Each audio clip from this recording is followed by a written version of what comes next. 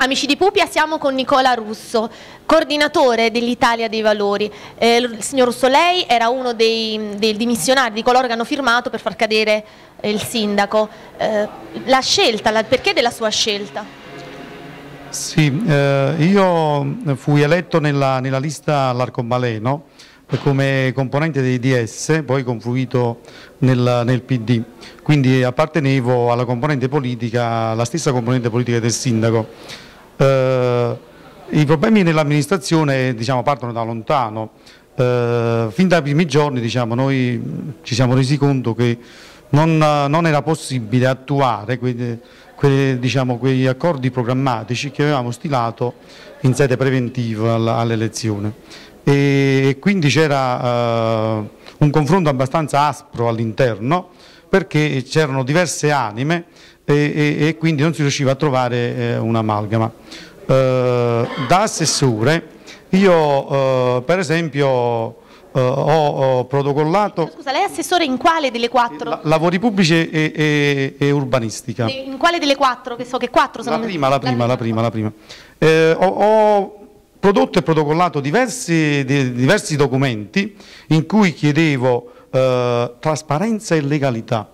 Cioè eh, in effetti qui eh, succedeva che si facevano dei regolamenti comunali e poi non si applicavano, regolamenti approvati in consiglio comunale e poi non si applicavano, come per esempio l'albo delle ditte di fiducia dove invece di fare eh, la rotazione si faceva lavorare eh, una sola ditta con uh, un sacco di, di, di, lavori dati così diciamo in affidamento diretto. E su questo io non ero d'accordo, non ero d'accordo che non si rispettava il protocollo uh, sulle concessioni edilizie. E non ero d'accordo su tante cose, quindi uh, ho protocollato una marea di atti e avevo chiesto anche il, diciamo, un ricambio nella dirigenza perché non la ritenevo all'altezza. E... Un, assessore così produttivo, perché è andato via allora? Sì, non sono andato via, sono stato cacciato, forse perché facevo troppo, volevo troppo. E, e, e quindi e, ho avuto la revoca praticamente dell'assessorato. E, logicamente eh, eh, eh, prima, prima, che arrivasse questa revoca questi miei eh, atti prodotti e protocollati hanno costituito praticamente un, uh, un nucleo di aggregazione e, e, sulla quale abbiamo trovato che non c'era, uh, diciamo, non eravamo, uh, non avevamo questi rapporti con Di Lauro, mentre con Fabozzi, eravamo dello stesso partito, c'era più un feeling.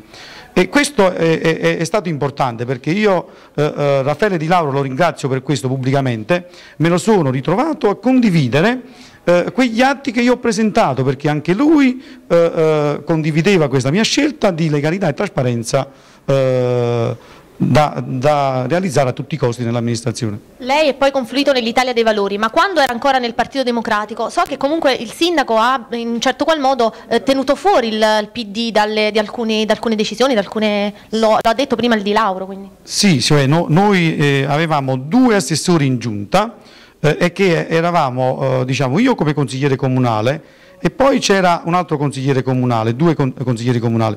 Praticamente ha azzerato la giunta eh, e eh, ha fatto la revoca a tutti e due e ha nominato il segretario senza consultarsi con noi, senza dialogare e senza condividere il percorso. Quindi è questa la ragione per cui lei ha confluito nell'Italia dei Valori? No, eh, sono confluito nell'Italia dei Valori perché a più riprese ho rappresentato questa situazione anomala di Trentola Ducenta dove eh, eh, diciamo, mancava completamente il confronto all'interno del partito e di riflesso nei rapporti con l'amministrazione e eh, in sede provinciale e la sede provinciale ha fatto come Ponzio Pilato, ha fatto sempre così, si è lavato le mani e io praticamente eh, sono uscito dal partito per questi motivi, perché non mi sentivo più a casa mia, né qui a Trentola e né nella sede provinciale. L'Italia dei Valori, la prossima elezione comunale, come si comporterà?